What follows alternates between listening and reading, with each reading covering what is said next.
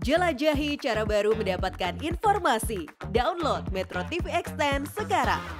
Kita beralih ke informasi lain pemirsa, meskipun Rocky Gerung sudah meminta maaf atas kegaduhan yang terjadi, buntut kritikannya terhadap Presiden Joko Widodo, pendukung Presiden Joko Widodo, Bara JP tidak akan mencabut laporan ke polisi. Sementara itu mantan juru bicara Presiden Abdurrahman Wahid atau Gus Dur Adi Masardi menyebut apa yang disampaikan Rocky Gerung masih sebatas kritik dan semestinya tidak dipidanakan.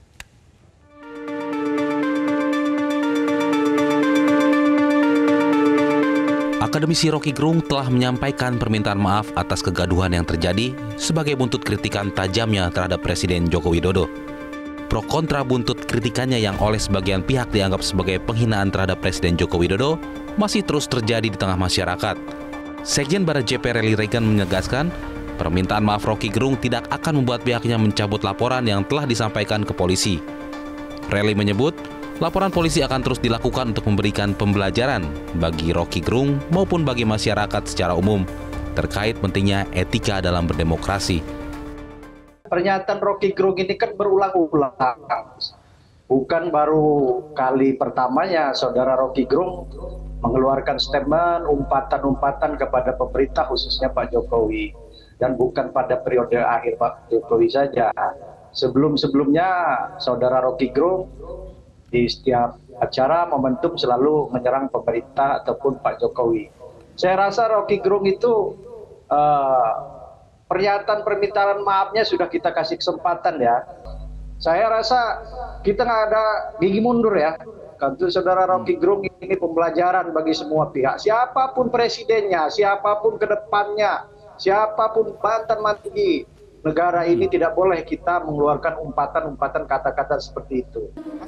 Sementara itu, mantan juru bicara Presiden Abdurrahman Wahid atau Gus Dur, yakni Adi Masardi menyebut, apa yang disampaikan Rocky Gerung masih sebatas kritik atau perbedaan pendapat.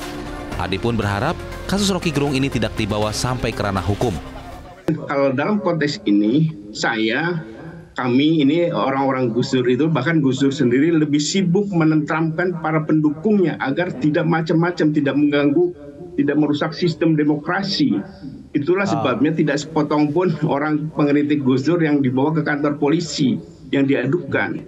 Karena kita paham bahwa ini tidak boleh karena ini kan baru tumbuh demokrasi kalau orang berpendapat kemudian dipenjarakan. Ini kalau sekarang ini untuk Rocky Gerung itu bukan sekedar dikriminalisasi tapi diancam penjarakan. Yang mengadu-ngadukan itu eh, niatnya kan mau membicarakan perbedaan pendapat. Jadi Rocky ini saya melihatnya 100% perbedaan pendapat, cuma cara menyampaikannya kan memang macam-macam. Orang yeah. orang kan beda-beda. Nah kita kan tumbuh dengan kebinekaan etnis, kebinekaan karakter. Kalau ada yang seperti itu ya kita hormati okay. lah. Sementara itu menyusul masifnya laporan terhadap Rocky Gerung, Baris Krim Polri mengambil alih semua laporan yang diterima pihak kepolisian di sejumlah daerah. Hingga saat ini, setidaknya terdapat 13 laporan dan dua pengaduan terhadap Rocky Gerung. Baris Krim Polri pun telah memulai tahap penyelidikan atas kasus Rocky Gerung ini. Tim Liputan, Metro TV.